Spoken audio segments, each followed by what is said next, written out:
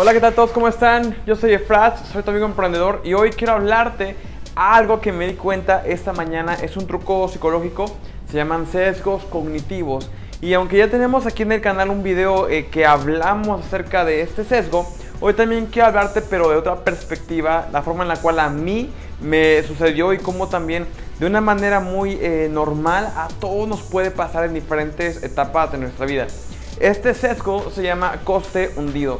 Y mira, yo soy fanático de los libros, me encanta leerlos. De hecho, eh, yo escucho tres, o más bien leo tres. Uno lo escucho en Audible, eh, tú lo compras y por audiolibro lo, lo, vas oyendo en el gimnasio, corriendo. Eh, uno el que tengo físico y otro el que tengo digital. cuando voy al banco o algún lugar y puedo sacar mi teléfono, rápido me puedo poner este al día y continuar con mi lectura. Entonces, eh, esto me pasó con eh, un libro de los libros que compré en Audible. Eh, usualmente trato de comprar libros que son muy largos porque así no se me hacen tan pesados y bueno, como que los dijeron más. al final, bueno, compré un libro, no te quiero decir exactamente cuál es, solamente te quiero decir que en el audio tardaba más o menos, no sé, como 28 o 30 horas de puro audio. Era muy denso ese libro, muy interesante. Pero, ¿sabes qué pasó? Que es un tema que es muy bueno, pero no es un tema que en este momento yo esté eh, interesado a aprender más al respecto.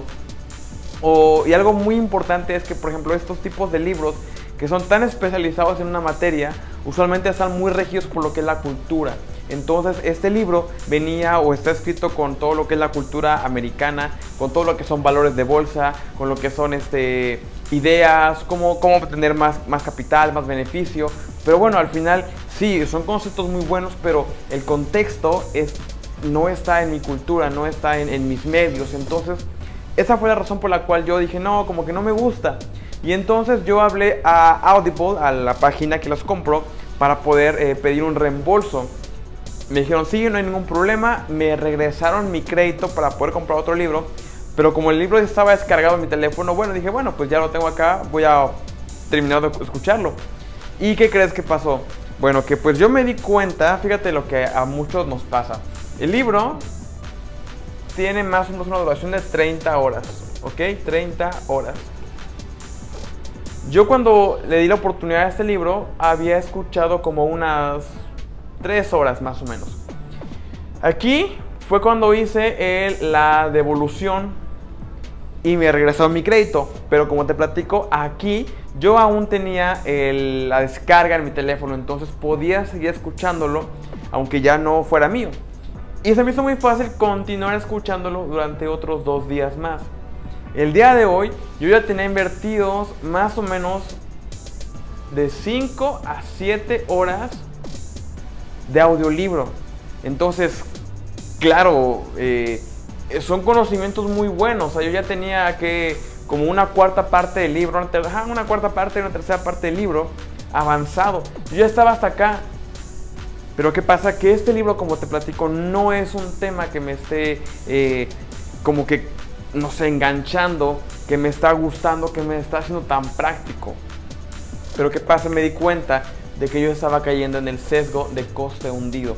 Coste hundido significa cuando tú ya vas avanzado en la, en la recta o en, el, o en la cantidad de lo que tú tengas que lograr, en este caso son 30 horas, yo llevaba 5 a 7, yo estaba pensando, bueno, pues ya estoy casi la mitad, ¿por qué no lo termino? ¿No? Yo creo que es lo que también tú pensarías, pero ¿sabes qué pasa? que todo este periodo de tiempo para mí sería una pérdida. Para mí sería eh, no, no algo provechoso porque ni es un tema que me gusta, ni es un tema que me está haciendo útil ni práctico. Entonces, esto estaba yo cayendo en un coste hundido.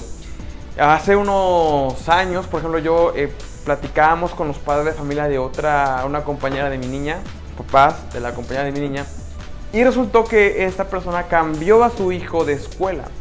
Eh, compró uniformes, pagó colegiatura, pagó este, todo lo que es la parte de inversión inicial. ¿Y qué sucedió? Que al mes no le había gustado la escuela. Y platicamos, bueno, ¿y qué pasa? ¿Por qué no mejor la regresas a la escuela que ya la habías, lo habías ingresado antes, ¿no? Con, con, con mi hija. Y nos dijo, no, ¿sabes por qué? Ya pagué uniformes, ya pagué inscripción, ya pagué mensualidad. Entonces, pues como ya avancé un poco, pues mejor me acabo el año, mejor termino la, la escuela ahí y ya luego lo cambio.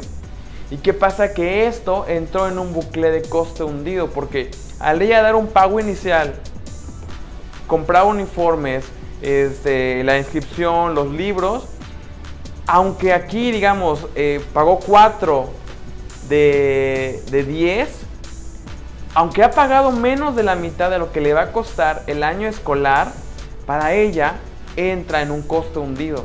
Y entonces para esa persona es más fácil terminar y pagar 6 más que dar esto por perdido. Este es algo que nos pasa muy común. Entonces hoy dije, no, ¿sabes qué? Estoy cayendo en este sesgo. Voy a borrar y borré el audiolibro para ya no continuar invirtiendo mi tiempo ni dinero en, un, en algo que no va a tener mucho futuro o que al menos en mi caso no me va a, a generar más. Esto te puede pasar a ti, pasa con muchos emprendedores. Cuando tú tienes un, un, este, un producto o una propuesta de valor y tú crees que es lo mejor, ya le invertiste en marketing, ya le invertiste en el logo, ya le invertiste en el local, en la página web y ya has invertido una gran parte de dinero y esfuerzo, tú vas a estar convencido a que tienes que terminar la línea, a que tienes que terminar y llegar a la meta.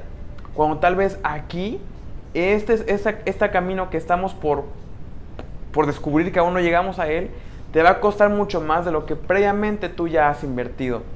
Entonces, yo únicamente quiero hablar de eso el día de hoy. Que tengas mucho cuidado con lo que es el sesgo de costo hundido. Porque claro, tú lo puedes aplicar con tus clientes, con tu negocio, pero también es muy probable que tú caigas en uno de estos sesgos. Entonces, ten mucho cuidado con el sesgo de costo hundido. Analízate, ¿es realmente esto que estoy empezando, mi emprendimiento, mi negocio, mi estrategia rentable? ¿O estoy realmente gastando más de lo que me va a costar ponerla en acción? Y pues nada, hasta acá el video del día de hoy. Comenta y no olvides dejar tu like, suscribirte y activar la campana de notificaciones. Te dejo por acá una lista de reproducción que creo que te van a poder ayudar muchísimo, te van a aportar mucho valor. Si no puedes vernos por YouTube, no te preocupes. Recuerda que también estamos en Spotify, estamos en Apple Podcast. Nos puedes encontrar como Caminando al Éxito. Yo te veo en el siguiente episodio y ya sabes, nos encanta traerte contenidos que te van a aportar muchísimo valor. Te veo pronto.